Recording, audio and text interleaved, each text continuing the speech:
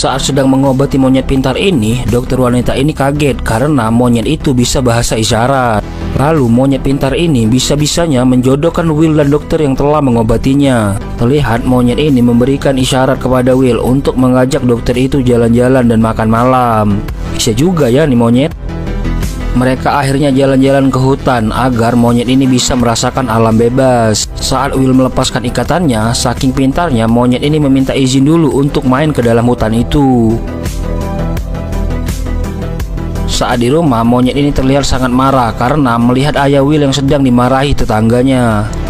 Monyet ini pun langsung keluar dan menyerang orang yang memarahi ayah Will itu. Dia pun memukul orang itu dengan bertubi-tubi. Lalu dengan giginya yang tajam, monyet ini menggigit jari pria itu hingga terputus. Karena kejadian itu, monyet ini pun dituntut dan dibawa ke tempat kurungan para monyet-monyet lainnya.